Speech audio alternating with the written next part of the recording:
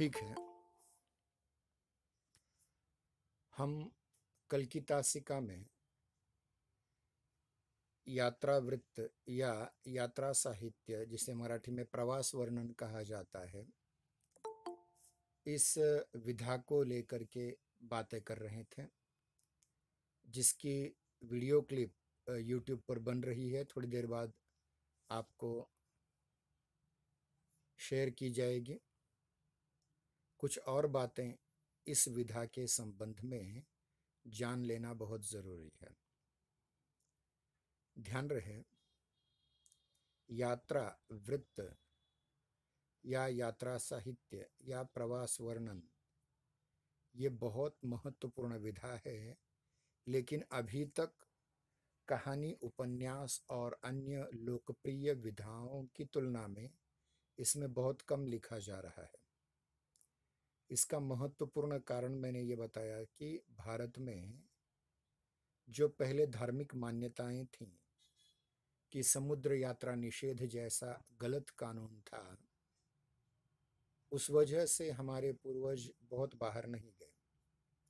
लेकिन फिर भी अगर हम यात्रा साहित्य का इतिहास देखें तो संस्कृत के प्रसिद्ध कवि कवि कुलगुरु कालिदास जी द्वारा लिखित मेघदूत, यह जो खंड काव्य है, जो मंदाक्रांता छंद में लिखा गया है, पूर्व पूर्व मेघ और उत्तर मेघ ऐसे जो भाग हैं इसके हैं। इसमें, इसकी कथा में एक एक मिनट में आपको बताने की कोशिश करता हूँ कि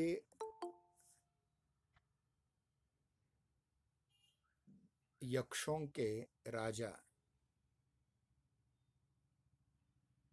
अपने एक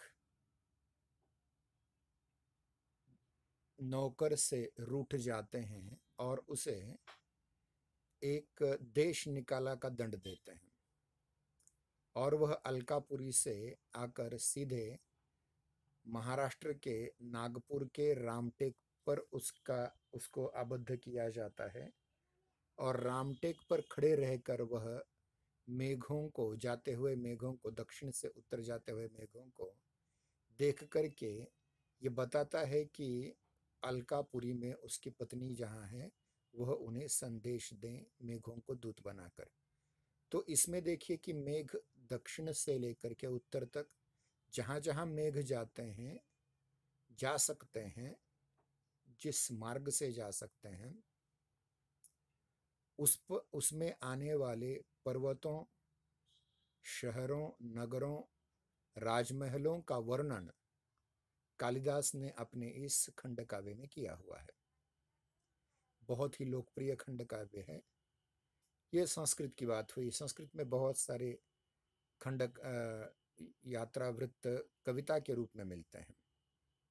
काव्य, काव्यात्मक भाषा के रूप में मिलते हैं, जिसको हम पद्य यात्रा वृत्त कह सकते हैं। लेकिन हिंदी में अगर देखा जाए तो जैसा कि मैंने कल कहा था कि महापंडित राहुल सांकृत्यायन जी ने सबसे पहले इस विधा की ओर ध्यान आकर्षित किया।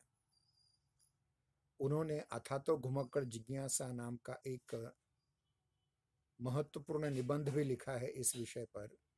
घूमना चाहिए और उसकी इस शेर से उन्होंने शुरुआत की थी। दुनिया की सैर कर गाफिल जिंदगानी फिर कहाँ? जिंदगानी कर रही नौजवानी फिर कहाँ? तो उन्होंने जो यात्रा वृत्त लिखे हैं, उनमें से सबसे महत्वपूर्ण यात्रा वृत्तों का संग्रह है किन्नरों के देश में, या किन्नर देश में। दूसरा उनका महत्वपूर्ण यात्रा वृत्त संग्रह है, जिसका शीर्षक है, हिमाचल परिचय या हिमालय परिचय। अब हिमालय परिचय में उन्होंने, अब ध्यान रखिए कि डॉक्टर अंबेडकर जी ने हिंदू धर्म छोड़ करके बौद्ध धर्म का अंगीकार कर लिया, लेकिन उसके लिए ग्रंथों को खोजने का कार्य सबसे बड़ा किसने किया है? तो राहुल सांकृत्यायन जी ने किया हुआ है। राहुल सांकृत्यायन जी ने तिब्बत में जा करके जिसको तिब्बत कहा जाता है हिंदी में तिब्बत में जा करके वहाँ के बौद्ध मठों में रह करके उन ग्रंथों का लेखन, यानी अनुकरणात्मक लेखन किया। मतलब जैसा का वैसा उन्होंने लिख करके लाया और तब जा करके कहीं भारत में बौद्ध धर्म का पुनरुद्ध, बौद्ध धर्म का पुनरुज्जीवन हुआ। राहुल सांकृत्यायन के उपरांत एक अन्य बौद्ध प्रचारक आनंद भदंत कौशल्यायन भदंत आनंद कौशल्यायन ने जापान की यात्रा की और उस यात्रा वृत्त का शीर्षक उन्होंने लिखा, आज का जापान। इसके उपरांत हिंदी के प्रसिद्ध साहित्यकार एवं राजनेता सेठ गोविंद दास जी ने, सेठ गोविंद दास जी ने मेरी आवाज़ सुनाई दे रही सभी को? कृपया कमेंट बॉक्स में लिखें। बहुत सारे छात्र छोड़ करके जा रहे हैं मीटिंग। आवाज़ आ रही है ना? हाँ ठीक है ठीक है। तो जिन्हें जाना हो जाए, हमें उससे कोई मतलब नहीं। ठीक है यह सुविधा आप लोगों के लिए है। अगर आप छात्रों की समझ में नहीं आता तो हम कुछ कर नहीं सकते। ठीक है? तो मैं अगले लेखक का नाम ले रहा था। कांग्रेस के बहुत बड़े नेता और हिंदी के बहुत बड़े लेखक सेठ गोविंद दास जी ने सुदूर दक्षिण में नाम से एक यात्रा वृत्तों का संग्रह लिखा हुआ है। साथ ही साथ उन्होंने अनेक देशों की यात्रा की थी और इस यात्रा के अनुभव उन्होंने एक अन्य यात्रा वृत्त में लिखे हैं जिसका नाम है पृथ्वी परिक्रमा। यानी इसमें विवरण प्रधान यात्रा वृत्त हैं। और इन यात्रा वृत्तों का सबसे महत्वपूर्ण उद्देश्य यह है कि जो भारत में नए नए पढ़ लिखने वाले लोग हैं, जो विश्वविद्यालयों से पढ़ लिख करके बाहर आ रहे हैं, उनको उन उन देशों की जानकारी प्रदान करना, विवरण प्रदान करना। वेणी शुक्ल नाम के एक बहुत बड़े हिंदी के लेखक जिन लेखक ने इंग्लैंड और फ्रांस की यात्रा करते हुए जो उन्हें अनुभव आए, उन अनुभवों को उन्होंने लंदन से पेरिस तक इस यात्रा वृत्त संग्रह में लिखा हुआ है। गोपाल नेवटिया नाम के हिंदी के बहुत प्रसिद्ध साहित्यकार ने कश्मीर की यात्रा की। आप जानते हैं कि कश्मीर आज एक ऐसा स्थान बन चुका है जहाँ भारतवर्ष के बहुत सारे लोग ठीक ढंग से नहीं रह पाते वहाँ से पंडितों को भगा दिया गया वगैरह वगैरह। लेकिन ये जिस काल में लिखा गया, उस समय ऐसी कोई समस्या नहीं थी। तो कश्मीर उन्होंने कश्मीर पर उन्होंने यात्रावृत्त लिखे हैं। इतना ही नहीं, उन्होंने बंगाल का उपसागर हो, हिंद महासागर हो, अरब अरब सागर हो इन सागरों के तटों का भी बहुत बारीकी से वर्णन करते हुए सागर प्रवाह नाम का एक महत्वपूर्ण यात्रा वृत्त संग्रह भी लिखा हुआ है। भगवत शरण उपाध्याय नाम के हिंदी के बहुत बड़े चिंतक, लेखक ने संपूर्ण विश्व का भ्रमण करते हुए वह दुनिया नाम का बहुत महत्वपूर्ण यात्रा वृत्त संग्रह लिखा हुआ है। इसके उपरांत हम देखते हैं कि राम वृक्ष बेनीपुरी जिनका ज़िक्र मैंने रेखा चित्र और संस्मरण में किया था माटी की मूर्तें उनके रेखा चित्र संग्रह का नाम है। उन्होंने भी आ, बहुत सारे देशों की यात्राएँ की थी और उन यात्राओं के यात्रावृत्तों का संकलन उन्होंने पैरों में पंख बाँध कर इस प्रकार से किया मतलब विमान यात्रा। उसके उपरांत श्रीनिधि सिद्धांतालंकार नाम के एक बहुत महत्वपूर्ण हिंदी चिंतक ने शिवालिक की घाटियों में, शिवालिक जो हिमाचल, हिमालय की कंदराओं में स्थित बहुत महत्वपूर्ण शिखर है बहुत महत्वपूर्ण पर्वत है, उस पर्वत के इर्द गिर्द जो अनुभव प्राप्त किए उन अनुभवों को लिखने का प्रयास किया है। इसके उपरांत हम देखते हैं कि देवेश दास जी ने यूरोप खंड का, यूरोप खंड का प्रवास किया यात्रा की और उस पर उन्होंने जो यूरोप नाम का एक महत्वपूर्ण यात्रावृत्त संग्रह लिखा हुआ है, साथ ही साथ जो देश के राजे रजवाड़े हैं उनके भी यात्राएँ करके यात्रा यात्रावृत्त लिखे हैं, जिसका नाम उन्होंने दिया है शीर्षक रजवाड़ा। तो ये बहुत ही महत्वपूर्ण ग्रंथ हमें, हमारे सम्मुख प्राप्त होते हैं। अगर देखा जाए और भी भारत के बाहर गए हुए भारतीय लोगों के यात्रा यात्रावृत्तों को तो आचार्य देवेंद्र सत्यार्थी, जिन्होंने धरती गाती है नाम का, एक बहुत महत्वपूर्ण यात्रावृत्त संग्रह प्रस्तुत किया हुआ है। डॉक्टर सत्यनारायण जी ने यूरोप के झरोखे से, यानी यूरोप की यात्रा करके, यूरोप खंड जिसमें रशिया से लेकर के इंग्लैंड, फ्रांस, जर्मनी, उसके उपरांत इटली, ग्रीस इत्यादि देशों की यात्रा की और महत्वपूर्ण यात्रावृत्त संकलन लिखा है। यूरोप के झरोखों से। रांगे राघव हिंदी के बहुत प्रसिद्ध प्रगतिशील लेखक हैं, जिनके उपन्यास, कविताएँ, कहानियाँ बहुत प्रसिद्ध हैं। उन्होंने भी तूफानों के बीच नाम का एक ऐसा यात्रावृत्त लिखा है, जिसमें प्राकृतिक आपदाओं को सहते हुए किस प्रकार से यात्रा की जाती है, इस पर भी उन्होंने चर्चा की हुई है। यशपाल जी जो बहुत प्रगतिशील लेखक और उपन्यासकार हैं, हिंदी के बहुत बड़े उपन्यासकार, कहानीकार हैं, उन्होंने भी अनेक देशों की यात्रा की और उस पर दो यात्रावृत्त संग्रह लिखे हैं, लोहे की दीवारों के दोनों ओर। लोहे की दीवारों के दोनों ओर और दूसरा उनका है, राह बीती। इस प्रकार हम देखते हैं कि बहुत से हिंदी के गणमान्य लेखकों ने अपने जीवन में जहाँ जहाँ प्रवास किया जहाँ जहाँ यात्राएँ की जहाँ जहाँ वे गए, वहाँ के अनुभवों को अपने यात्रावृत्त संकलनों में समेटने का प्रयास किया। एक और महत्वपूर्ण बात कभी कभी विधाएँ एक दूसरे से टकराती हैं और एक दूसरों के वृत्त में मिल भी जाती हैं। डॉक्टर हरिवंश राय बच्चन की आत्मकथा का तीसरा खंड बसेरे से दूर। यह उन्होंने डब्ल्यू बी इट्स पर पीएचडी करने के लिए, शोध कार्य करने के लिए कैम्ब्रिज विश्वविद्यालय में जाने के उपरांत इंग्लैंड के वातावरण का वर्णन किया हुआ है। तो ये बसरे से दूर एक प्रकार से यात्रावृत्त है। हालाँकि इसे शुद्ध यात्रावृत्त नहीं, अपितु तो आत्मकथा कहा जा सकता है।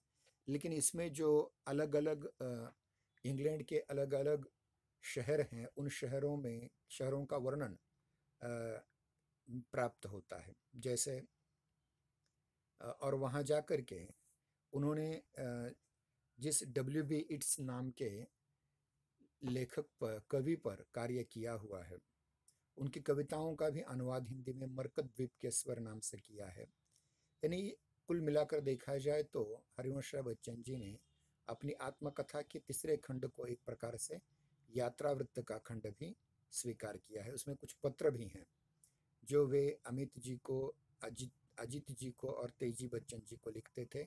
उनमें भी उनकी यात्राओं का सविस्तर वर्णन प्राप्त होता है।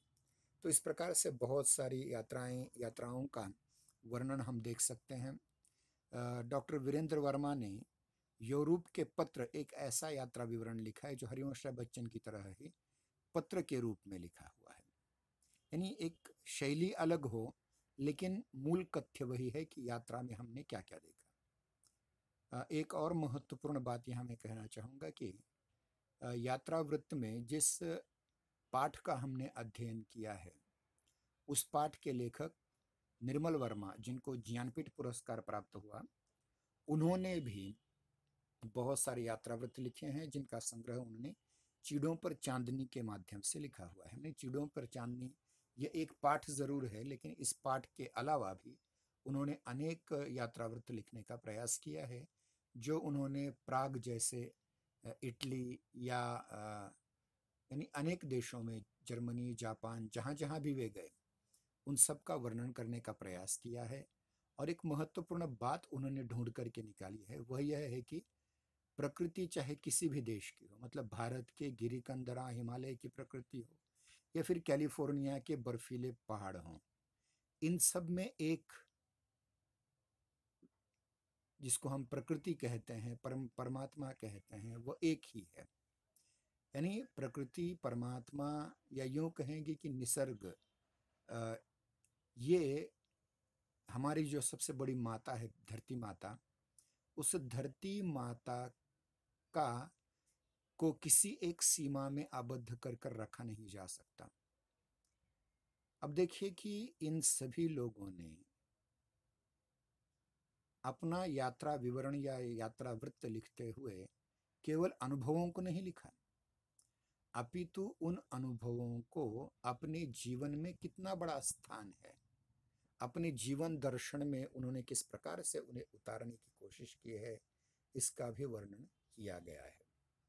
कुछ यात्रा विवरण ऐसे होते हैं जैसे कोई कोई व्यक्ति अपने धार्मिक प्रचार प्रसार के लिए भारत के बाहर गए हों। उनका भी यात्रा विवरण यात्रा वृत्त विवरण के रूप में आ सकता है। इतना ही नहीं, जैसे हम स्वामी विवेकानंद की बात करते हैं। स्वामी विवेकानंद जी ने शिकागो में जाकर के सर्वधर्म सभा में हिंदू धर्म की ध्वजा लहराई लेकिन उन्होंने अपनी ग्रंथावली के छठे भाग में जहाँ जहाँ व्याख्यान उन्होंने दिए, उन व्याख्यानों को जाते समय उन्हें जो कुछ कठिनाइयाँ आई, कभी पैसे की कठिनाई आई, कभी खान पान की व्यवस्था नहीं थी कभी कपड़ों की व्यवस्था नहीं हो सकती थी, ऐसों का वर्णन करते हुए उस उस शहर का वर्णन उसमें अमेरिका का, इंग्लैंड का किया हुआ है। यानी स्वामी विवेकानंद जी ने दो बार विदेशों की यात्रा की। तो उसमें पहली जो यात्रा की थी शिकागो की, सबको पता है। और दूसरी यात्रा में उन्होंने संपूर्ण यूरोप की यात्रा की थी। और यहीं उनके बहुत सारे शिष्यगण मिले, जिनमें भगिनी निवेदिता नाम की एक बहुत महत्वपूर्ण शिष्या उनको प्राप्त हुई। तो यूँ कहें कि यात्रा वृत्त हमारे दैनिक जीवन में हम जहाँ जहाँ भी जाते हैं, वहाँ के वर्णन को हम यात्रा वृत्त कह सकते हैं। एक और महत्वपूर्ण लेखक अब नए नए आए हैं यात्रा वृत्त लेखन में। वे हैं डॉक्टर अर्जुन चौहान जी, जिनका जन्म परंडा, उस्मानाबाद ज़िले में ही हुआ था। किंतु वे आज शिवाजी विश्वविद्यालय, कोल्हापुर के हिंदी विभाग में कार्यरत हैं। वे जब पहली बार मॉरिशस गए थे, जैसे मैं भी गया था, मॉरिशस गए थे तो वहाँ ने वहाँ के मुड़िया पहाड़ का वर्णन किया हुआ है। वहाँ की ज्वालामुखी से निर्माण हुए अलग अलग रंगों की मिट्टी का वर्णन किया हुआ है। नहीं बहुत बार ऐसा होता है कि शब्दों की ताकत इतनी ज़्यादा होती है कि कभी कभी जो वास्तविक चित्र है, उस वास्तविक चित्र से भी शाब्दिक चित्र, प्रवास वर्णन का या यात्रा वृत्त का अधिक आकर्षक लगता है। तो ये बहुत महत्वपूर्ण बातें आपके सम्मुख मैंने रखी हैं। लगभग हमारा समय समाप्ति की ओर आ रहा है। अगर ध्यान रखिए कि जो आज तक हमने गद्य विधाएँ ली हैं, इन गद्य विधाओं में पाँच विधाएँ इस सत्र में आपके पाठ्यक्रम में हैं और चौथे सत्र में पाँच विधाएँ। इनमें से प्रत्येक विधा का पीपीटी प्रेजेंटेशन मैंने आपको दिया था। चाहे वो मेरा जीवन नाम के पाठ का हो जो प्रेमचंद ने लिखी हुई अपनी आत्मकथा या आत्मकथा का अंश या आत्मवृत्त है, उसके उपरांत महियसी महादेवी वर्मा जी द्वारा लिखित एक पाठ है जो रेखाचित्र विधा में है, जिसका शीर्षक नीलकंठ मोर है। उसके उपरांत हमने एक संस्मरण विधा की ओर भी रुख किया था। डोगरी की डोगरी और हिंदी की प्रसिद्ध लेखिका पद्मा सचदेव जी ने लिखा हुआ संस्मरण कमला को हमने डिटेल में पढ़ा था, उस पर परीक्षा भी ली थी। यानी और उसके उपरांत आचार्य हजारी प्रसाद द्विवेदी जी द्वारा लिखित ललित निबंध, शिरीष के फूल, ये भी हमने डिटेल में पढ़ा हुआ था। अत्यंत विस्तार से उसकी बातें की थी। उसके उपरांत हमने ये देखने की कोशिश की है कि अंतिम पाठ जो हमारे पाठ्यक्रम का है, यात्रावृत्त विधा के अंतर्गत चिड़ों पर चांदनी निर्मल वर्मा जी द्वारा लिखित। इन सब का अध्ययन और इस, इन सभी पर परीक्षाएँ भी हो चुकी हैं बीएससी के छात्रों की। हम धीरे धीरे बीए के छात्रों की भी परीक्षाएँ गूगल फॉर्म परीक्षाएँ इसकी धीरे धीरे लेने की कोशिश करेंगे, जो वस्तुनिष्ठ रूप से होगी। हो सकता है कि कोविड के, के कारण अगली आने वाली सारी परीक्षाएँ सारी मैं कह रहा हूँ केवल यही नहीं क्योंकि कोविड से कोविड उन्नीस से संक्रमित लोगों की संख्या दिन दिन बन दिन बढ़ती जा रही है तो हम एकत्र अब फिजिकली नहीं आ सकते। एकत्र बैठ करके परीक्षा नहीं दे सकते तो ये आपको ऑनलाइन परीक्षाएँ देनी पड़ेंगी। और इसलिए ऑनलाइन अगर परीक्षाएँ हैं तो वह आप विस्तार से लिख नहीं पाएँगे। लघुत्तरी, दीर्घोत्तरी प्रश्न नहीं होंगे। अतः उसमें आपको वस्तुनिष्ठ, बहुपर्यायी प्रश्नों का ही प्रयोग करना पड़ेगा। इसलिए मैं जिस प्रकार से प्रत्येक पाठ पर आधारित 25-25 प्रश्नों की एक गूगल फॉर्म परीक्षा ले रहा हूँ। उसे बार बार पढ़ें। हो सकता है कि इन्हीं 25 प्रश्नों में से कोई प्रश्न आपको बाद में परीक्षा में पूछा जाए। हो सकता है इन 25 के अलावा भी कुछ प्रश्न होंगे। लेकिन अधिकतर इसी प्रकार के प्रश्न वहाँ आ सकते हैं। कोई प्रश्न पूछा जाएगा, उसके चार पर्याय पूछे, चार दिए होंगे, उसमें से जो सही पर्याय है, उसको आपको अंकित करना पड़ेगा, जिसका गूगल फॉर्म का एनालिसिस हो जाएगा, विश्लेषण होगा और उस विश्लेषण के अनुसार अंक मिलेंगे। बहुत से छात्रों ने सौ में से सौ अंक मतलब हमारी गूगल फॉर्म परीक्षा में हमने 25 प्रश्न, प्रत्येक प्रश्न चार अंक के लिए इस प्रकार सौ अंक की प्रश्न पत्रिका ली थी, जिसमें से बहुत सारे छात्रों ने सौ में से सौ अंक अर्जित किए हैं। कुछ लोगों को छियानवे आए हैं। कुछ लोगों को बानवे आए हैं, कुछ लोगों ने अस्सी, साठ तक लिए हैं, लेकिन अगर मैंने दी हुई पी एफ़ आपने ठीक ढंग से पढ़ी होगी पीपीटी को ठीक ढंग से पढ़ा होगा, या जो मैंने वीडियो भेजे हैं उनको ठीक ढंग से सुना होगा, देखा होगा ठीक ढंग से तो बहुत कठिन बात नहीं है ये इस प्रकार का तकनीकी शिक्षा के द्वारा प्रयास जो किया जा रहा है। तो देखिए कि प्रेमचंद जी का आत्मवृत्त मेरा जीवन हो।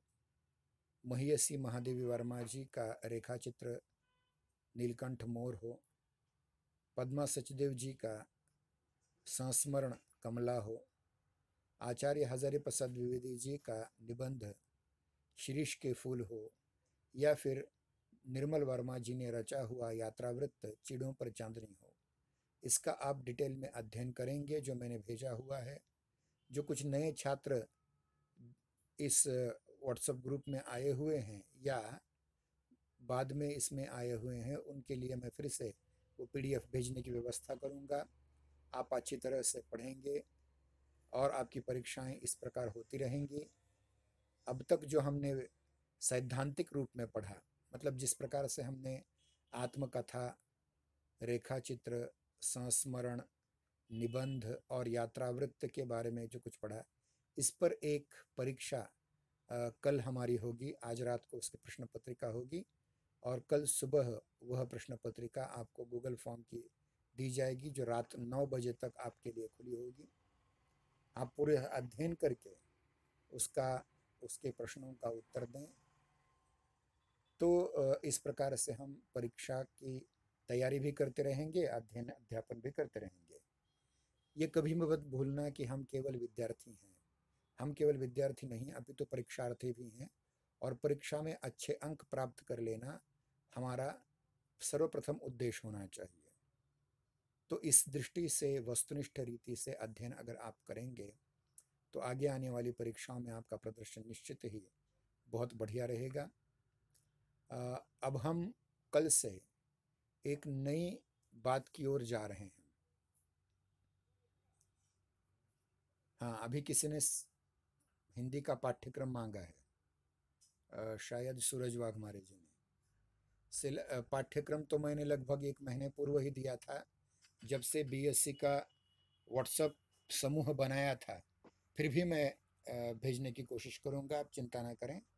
दोनों बीए और बीएससी दोनों के व्हाट्सएप समूह में उस पाठ्यक्रम को मैं और एक बार भेजने की कोशिश करता हूँ। उसका अध्ययन आप अच्छी तरह से करेंगे। लेकिन ध्यान रखिए ये जो साहित्य के बारे की, बारे में बात है, यानी आपने आत्मवृत्त पढ़ा, आपने रेखा चित्र पढ़ा, आपने संस्मरण पढ़ा, निबंध पढ़ा और उसके उपरांत यात्रावृत्त पढ़ा, ये आपके पाठ्यक्रम में पचास प्रतिशत के लिए है। मतलब पचास अंकों में से पच्चीस अंक आपको इन साहित्यिक पाँच विधाओं पर होंगे। लेकिन जो उर्वरित शेष पच्चीस पचास प्रतिशत या पच्चीस अंक हैं, वो भाषा के आधार पर हैं। जैसे गत वर्ष आपने हिंदी भाषा, देवनागरी लिपि संगणक में देवनागरी लिपि का प्रयोग इस इस पर जोशी सर जी से बहुत अच्छा मार्गदर्शन प्राप्त किया था। अब हमें प्रयोजन मूलक हिंदी की ओर बढ़ना है।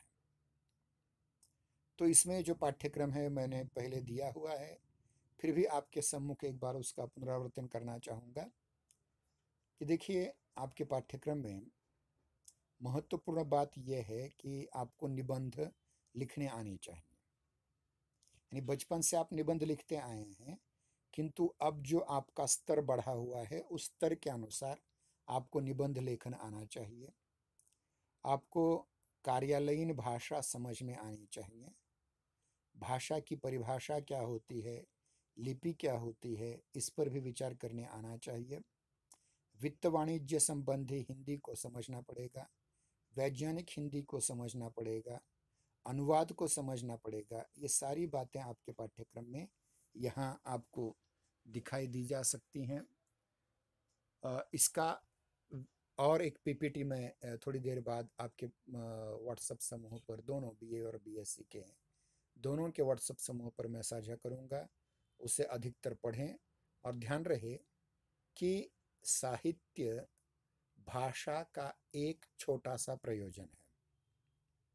हमने जितनी भी आज तक गद्य विधाएँ पढ़ी, चाहे उपन्यास हो, कहानी हो, कविताएँ हो आत्मकथा हो, उसके उपरांत रेखा चित्र संस्मरण, निबंध यात्रावृत्त हो, ये भाषा का एक छोटा सा भाग है। भाषा का प्रयोग जिस क्षेत्र में होता है, वो क्षेत्र बहुत बड़े बड़े हैं। साहित्य उसका एक अंश मात्र है। कार्यालयीन भाषा अलग होती है। अध्यापक जिस भाषा का प्रयोग करता है, वो अध्यापकीय शैक्षिक भाषा अलग होती है। कोई वकील अपने कोर्ट में कोई महत्वपूर्ण जिरह कर रहा है तो उसकी भाषा अलग होती है। धार्मिक प्रवचनों की भाषा अलग होती है। राजनीतिक भाषणों की भाषा अलग होती है। उसके उपरांत बहुत से भाषा के रूप हैं, जिन भाषा के रूपों पर हमें और अधिक गहराई से अध्ययन करना पड़ेगा। पारिभाषिक शब्दावली क्या होती है? अलग अलग वैज्ञानिक शब्दावली क्या होती है? रसायन शास्त्र की शब्दावली हिंदी में कैसे आएगी? भौतिक शास्त्र की कैसे आएगी? राज्य शास्त्र की कैसे? समाज शास्त्र की पारिभाषिक शब्दावली कैसे होती है? सूक्ष्म जीव शास्त्र की पारिभाषिक शब्दावली कैसे होती है? गणित की पारिभाषिक शब्दावली कैसे होती है? वित्त और वाणिज्य की पारिभाषिक शब्दावली कैसे होती है? इतना ही नहीं, मैं तो आगे जाकर कहता हूँ कि बिना भाषा के प्रयोग के आप अपने दैनिक जीवन में कोई भी कार्य नहीं कर सकते। आपको खाना खाना है तो माता को बताना पड़ेगा कि मुझे भूख लगी है। ये जो वाक्य है, मुझे भूख लगी है, मुझे खाना चाहिए, ये भी एक भाषा का महत्वपूर्ण प्रयोजन है। तो इन सभी प्रयोजनों के बीच में हम कल महत्वपूर्ण बात आपके सम्मुख रखने का प्रयास करेंगे कि किस प्रकार से हम, किस प्रकार से हम भाषिक प्रयोजनशीलता की ओर जा सकते हैं। और इन इस पाठ्यक्रम में हमें क्या क्या पढ़ना है? इस पाठ्यक्रम को पढ़ते समय हमें किस प्रकार से अलग अलग सावधानियाँ बरतनी पड़ेंगी? इतना ही नहीं, हम तो ये भी कहते हैं कि मैं बहुत बार छात्रों से एक चुनौती भी देता हूँ कि आप एक हफ़्ते न सही एक दिन बिना भाषा की जी करके दिखाएँ। क्योंकि मनुष्य एक समाजशील प्राणी है और समाजशील प्राणी होने के नाते उसे बहुत सारे प्रयोजनों के लिए, बहुत सारे कारणों के लिए भाषा का प्रयोग करना पड़ता है। और जैसे कि मैंने इससे पहले भी कहा होगा कि मनुष्य और पशुओं में दो चीज़ के अंतर हैं। एक है पानी। पानी मतलब हाथ। अन्य पशुओं को गाय को हाथ नहीं है, बैल को हाथ नहीं है, कुत्ते को हाथ नहीं है। पानी और दूसरा वाणी। वाणी का मतलब यहाँ है कि भाषा।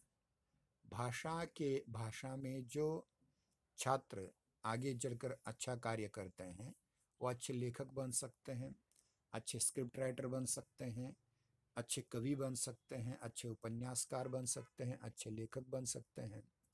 इस दृष्टि से आपको इस पाठ्यक्रम की ओर भी ध्यान देना पड़ेगा। एक महत्वपूर्ण बात और है। भाषा का एक महत्वपूर्ण प्रयोजन आज है मीडिया की हिंदी। इसको हम जनसंचार माध्यमों में, चाहे वो जनसंचार माध्यम, वृत्तपत्र हो या समाचार पत्र हो, चाहे आकाशवाणी हो, चाहे दूरदर्शन हो, चाहे अलग अलग समाचार चैनल हो, चाहे कोई भी आज का साधन या सोशल मीडिया लीजिए। अब सोशल मीडिया पर भी फेसबुक पर किस प्रकार लेखन करना चाहिए किस प्रकार से व्हाट्सएप पर लेखन करना चाहिए? किस प्रकार से ट्विटर का प्रयोग करना चाहिए? किस प्रकार से ब्लॉग लिखने चाहिए? ये सारी की सारी बातें बिना भाषा के हो नहीं सकती। इसलिए मित्रों, एक महत्वपूर्ण बात मैं यहाँ आपसे कह रहा हूँ कि भाषा का क्षेत्र, भाषा के प्रयुक्ति के क्षेत्र बहुत अलग अलग हैं। इसलिए हमें इन सभी बातों की ओर ध्यानपूर्वक रीति से बातें करनी चाहिए। और एक बार मैं उसका जो पाठ्यक्रम है, उसको दोहराता हूँ। हमारे प्रश्न पत्र का शीर्षक है, सामान्य हिंदी तीन, जो आपकी स्क्रीन पर भी दिख रहा होगा। तो सामान्य हिंदी तीन में भाषा संबंधी कौन कौन से प्रावधान हैं? पाठ्यक्रम बनाने वालों ने भाषा संबंधी किन किन चीज़ों का एहतियात बरता है। कौन कौन सी बातें आपके पाठ्यक्रम में लगी हुई हैं, उनकी ओर भी ध्यान देना बहुत ज़रूरी है भाषा के रूप में। ध्यान रहे, पहली बात है, वह है प्रयोजनमूलक भाषा। प्रयोजनमूलक भाषा में पहले आपको ये समझना पड़ेगा कि भाषा का स्वरूप और महत्व क्या है। भाषा की परिभाषा परिभाषा मतलब व्याख्या डेफिनेशन क्या होती है? भाषा की विशेषताएँ क्या होती है? और भाषा के प्रकार्य। प्रकार्य मतलब जिसे अंग्रेज़ी में फ़ंक्शन कहा जाता है, वे क्या होते हैं, ये आपको समझना पड़ेगा। और एक महत्वपूर्ण चीज़ यहाँ है, वह है कि कि वैश्वीकरण के परिप्रेक्ष्य में आज जो ग्लोबलाइजेशन हो रहा है, उसमें हिंदी भाषा का क्या महत्व है? इसको भी जानना महत्वपूर्ण बात है। फिर उसके बाद भाषा शिक्षण किस प्रकार भाषा सीखी जाती है। उसका स्वरूप क्या है? उसकी प्रक्रिया क्या है? इस पर भी चर्चा करनी है और चार भाषाई कौशल आपको बहुत बहुत बहुत बहुत गंभीरता से लेने हैं। श्रवण मतलब सुनना, भाषण या संभाषण मतलब बोलना, पठन अर्थात वाचन और अंतिम है लेखन। तो ये किस प्रकार से ये चारों कौशल्यों से हम नई चीज़ों को सीख सकते हैं। उसके उपरांत व्यावसायिक हिंदी, वाणिज्य व्यापार, उसका तात्पर्य एवं स्वरूप क्या है? वाणिज्य व्यापार के साधन कौन से हैं? वाणिज्य व्यापार और भाषिक प्रकार ये क्या है? वाणिज्य व्यावसायिक भाषा की संरचनात्मक विशेषताएँ कौन कौन सी हैं? व्यावसायिक पत्र लेखन क्या होता है? उसके उपरांत निबंध लेखन। निबंध लेखन में निबंध का तात्पर्य क्या है? निबंध का स्वरूप क्या होता है? निबंध के भेद क्या होते हैं? और निबंध लेखन लिखते समय किस प्रकार के निबंध लिखे जा सकते हैं? जैसे साहित्यिक निबंध हैं, जैसे सामाजिक निबंध हैं, समसामयिक समस्या प्रधान निबंध हैं, वैज्ञानिक निबंध हैं ये सब आपको पढ़ना पड़ेगा।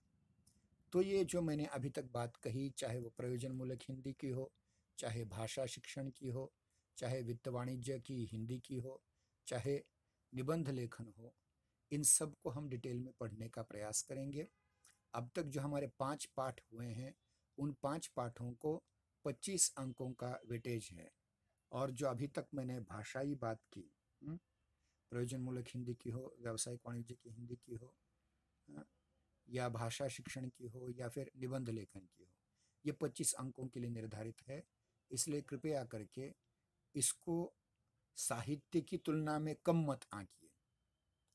साहित्य भाषा का एक छोटा सा प्रकार ये है। भाषा उससे भी बढ़ करके है भाषा साहित्य से भी आगे चल करके, हमारे दैनंदिन व्यवहार से लेकर के हमारे प्रलेखों के रिकॉर्ड करने तक हर जगह हिंदी का, भाषा का प्रयोग होता है और आज हिंदी विश्व की सबसे ज़्यादा बोले जाने वाली भाषा है। भले ही लेखन की अंग्रेज़ी अभी भी है, लेकिन हिंदी सबसे बड़ी भाषा सबसे ज़्यादा बोले जाने वाली भाषा और उसके सभी इन सब का अध्ययन हम धीरे धीरे करने का प्रयास करेंगे। आ, हमारा समय समाप्त होते आया है। आज हम यहाँ रुक जाते हैं। आ, कल की तासिका में फिर से मिलेंगे। शाम को मैं एक यानी पाँचों विधाओं पर 25 अंक 25 प्रश्नों का एक गूगल प्रश्न पत्र तैयार करूँगा भेजूँगा उसका अध्ययन आपको करना पड़ेगा। ठीक है, जिसको अगर किसी को कुछ शंकाएँ हैं तो हमारे व्हाट्सएप ग्रुप में आप पूछ सकते हैं। तो आप ज़रूर पूछें, आज हम यहाँ रुक जाते हैं। ठीक है धन्यवाद